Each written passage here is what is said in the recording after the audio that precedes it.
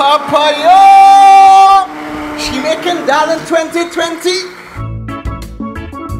If you love food, then you're in the right place because this is How to Foodie Nation. Today, Chef Jason will be teaching us how to make dal. So let's get cooking. Kezi, you ready to make dal? I'm ready. Very simple, you know. I heard. I mean, people think it's difficult and pretty much it's just put up everything to boil and just swizzle it when you finish. And it's so good, man. So But- good. But people don't understand that this is the stuff that make you bright and intelligent. You know? Mhm. It's such a versatile piece. Like, you could have split peas how? In dal puri, duh.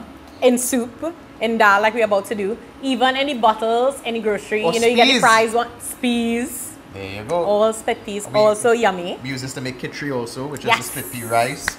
We get very creative with it also, and we can make like a split pea akras with it. Mhm. Like fritters. There you go, fritters. so I mean, base for soups, you name it, and you know, split peas are rich in protein, as you would know.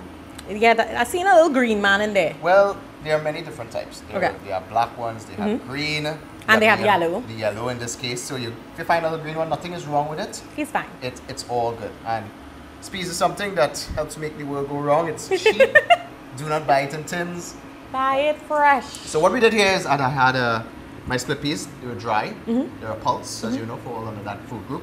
And I soaked them overnight in water. Okay. Some people don't do that. You could cook it just as straightforward. Just put it in the water and boil it. I find that when I soak it overnight in water, this is what happens to it. It gets soft. So it reduces your cooking time. By 15 to 20 minutes. I mean, it, it, it's not a necessity, but No. I like it. Put it to soak when you're going in your bed, wake up, cook it the next day. There you go. So, medium to high heat, pot on the stove. Okay. Yes, my pot was hot. Put that inside there. You want to put those split peas that Absolutely. pre-soaked inside there already. Absolutely. So dal has people been asking for dal on the comment section for a Mm-hmm. good while. So we're really happy to bring it to you guys. Keep on commenting. Let us know what you want us to make. Because we listening. We get there in time. We can't handle all in one week, but we Mm-hmm. will get there over the course of the years. So stick with us, guys. We are listening. So you have that inside there. Now, we That's need not- to flavor it up, Kezi. You go through now. I'm not trying to miss any of these. Turmeric, what we locally call a saffron. Yes. It's really turmeric. Turmeric is the proper name for it. Gives the split peas that yellow, famous color. That Alright? rich color. So it goes inside there. Mm-hmm. A little bit goes a long way. We have cumin powder, or known as jeera powder. Jeera. The seeds From the seeds ground. grounded. We are going to be using the seeds later on, but this is the powdered version. Okay. And this helps to create an earthy underlying effect in the dal itself. It cooks into the split peas itself. So Okay. you get a great flavor.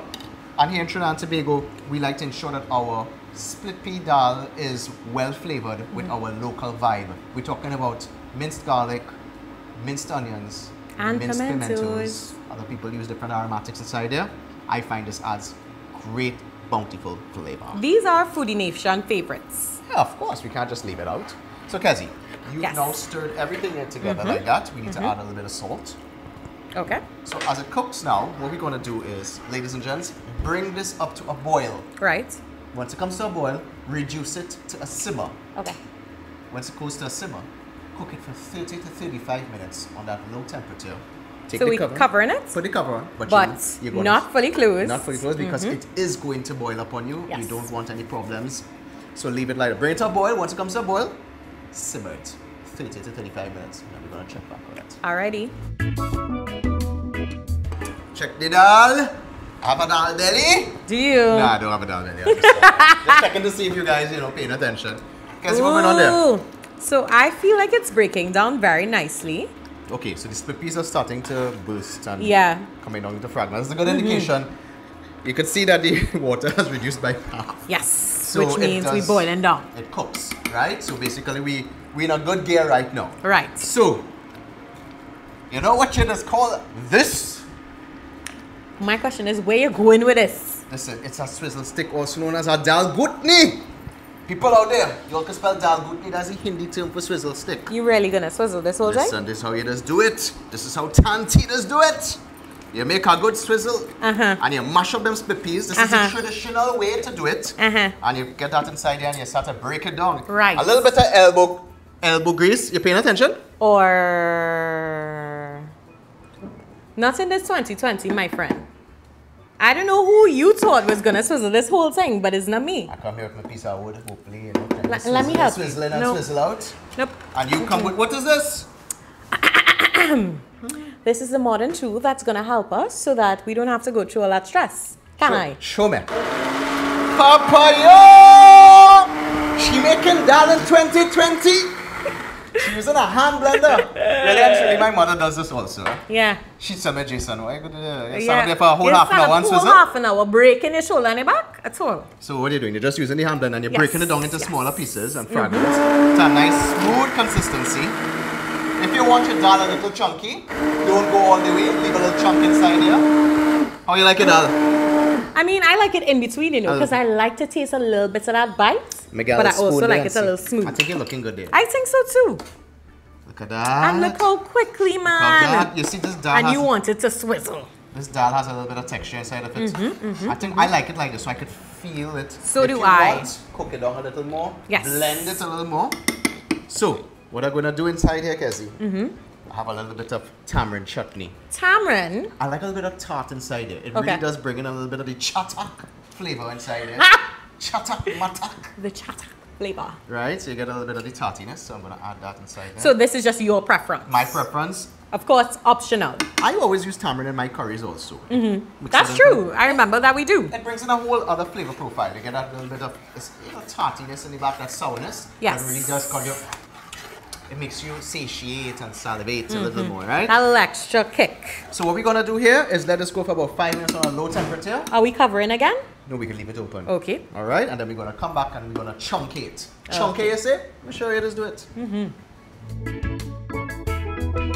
All right. You ready to chunk it, right? Yeah, I feel it's time. I Put feel that, it's time. put that to the side. Okay. Now- put it on this side. Put it on that side. Thank now we're using you. a saute pan here. Yes.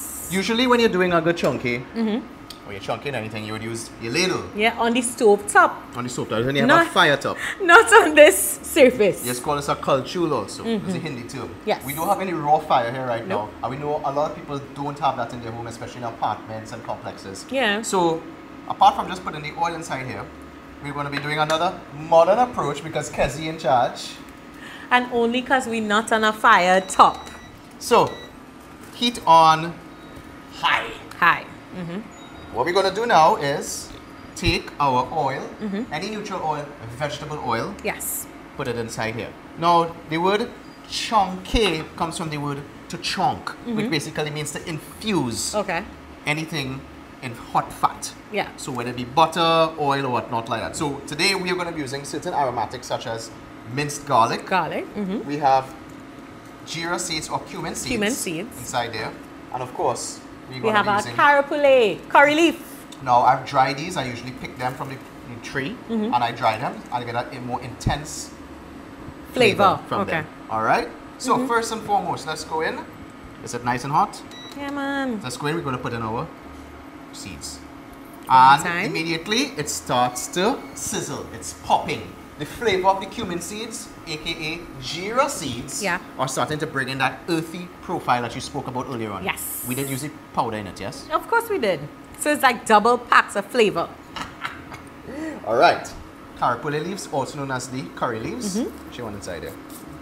Oh, we're going on with all. Things popping. Pop. Things popping. I tell you.